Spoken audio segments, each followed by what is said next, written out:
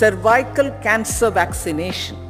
Our government will encourage vaccination for girls in the age group of 9 to 14 years for preven- prevention of cervical cancer.